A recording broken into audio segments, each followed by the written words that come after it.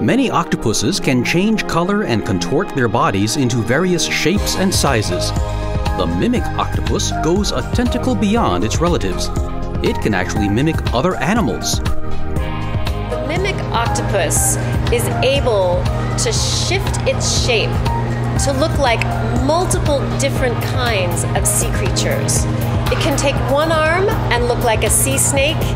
It can take all eight of its arms and compress itself from top to bottom so that it swims flat like a flounder or a sole. And it even swims in the middle of the water column, trying to use its eight arms to mimic a lionfish. And it will use different strategies in different situations. Maybe its undercover nature is why it was only described in 1998. Recently, Healy and her colleagues published a paper on Thaumoctopus mimicus, analyzing its DNA to determine how its remarkable adaptation to mimic other creatures evolved.